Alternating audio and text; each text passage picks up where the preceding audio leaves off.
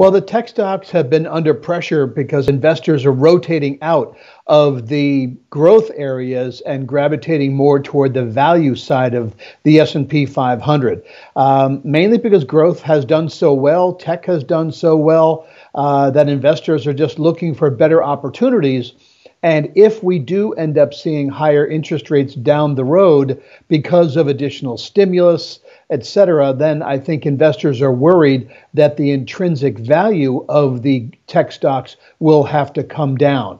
Um, so if you look to a chart of the XLK technology ETF, we're now hovering around the 50 day moving average. If weakness continues, then we could fall all the way to the 200 day, which would be another 9% decline from where we are right now.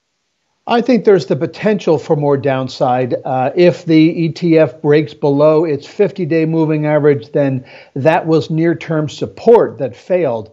And so, as a result, the longer term support could end up being challenged. So, unless there are some uh, opportunities that an investor would rather not miss out on, then I would say there might be a potential for a better entry point later on. The uh, it's the um, sector spider um, ETF for technology, and the ticker is XLK. Well, I think investors are not really worried about it because energy is one of the best performing sectors today and also is doing very well on a rolling nine month basis. So I would say that the problem of cybersecurity is one that needs to be addressed and that the Biden administration needs to be emphasizing.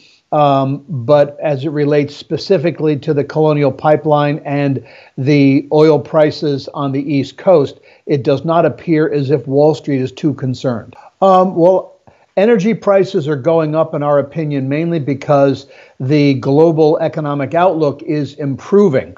Uh, specifically, if we're looking for those kind of companies that should do well in this environment, well, then uh, on the um, services side, Schlumberger SLB is one that we have highly ranked. Um, we also think that Total, the international integrated company, TOT, is expected to do fairly well. So in general, our belief is that there are some good investment opportunities in the energy space right now, and the prices are being driven more by um, fundamental expectations around the globe than they are concerns about higher prices related to the colonial pipeline. As I wrote in this week's uh, lead article of the uh, our Outlook publication, uh, I titled it Inflation Implications because the best performing groups in the past week uh, were energy, materials, financials, and industrials, which implied to me that investors are rotating their portfolios to take advantage of what they expect to be higher inflation. And so, areas, uh, the commodity oriented areas such as aluminum, steel, copper, commodity chemicals and paper products are those that have been doing very well uh, and for which we have some favorable recommendations. So, in general, I would say it's those that are in the materials and energy sectors that are likely to do the best because they tend to be inflation hedges that hold up very well in a rising inflationary environment. Uh, well, gold also ends up uh, being a pretty good uh, investment. It all depends, however, on how rapidly interest rates rise. Because gold does not pay a dividend, uh, does not offer a yield, and because it actually costs money to store the gold, uh, that traditionally uh, higher interest rates are not good, whereas inflation is good. I, I don't really follow them. I mean, I, I follow them from the standpoint of how, uh, you know, uh, Dogecoin was created as a joke and now it's soaring.